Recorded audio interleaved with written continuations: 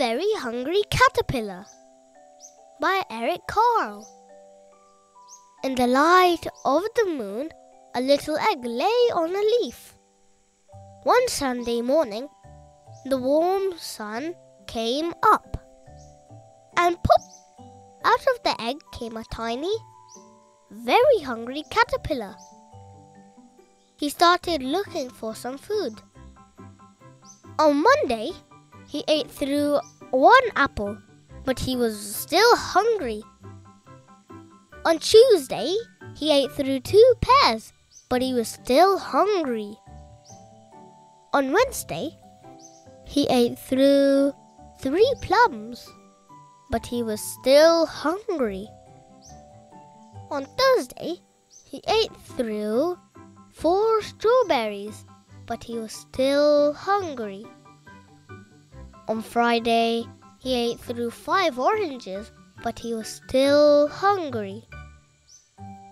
On Saturday, he ate through one piece of chocolate cake, one ice cream cone, one pickle, one slice of Swiss cheese, one slice of salami, one lollipop, one piece of cherry pie, one sausage, one cupcake, and one slice of watermelon.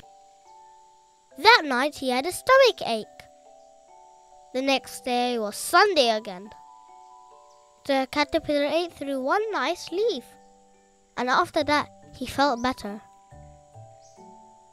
Now he wasn't hungry anymore, and he wasn't a little caterpillar anymore. He was a big fat caterpillar.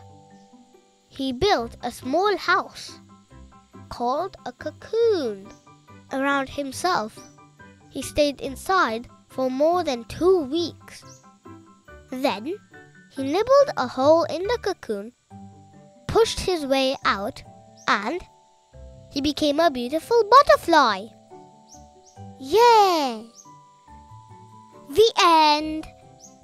Thank you for watching. Please like, share, and subscribe to my channel, The Olive Tree. Bye bye.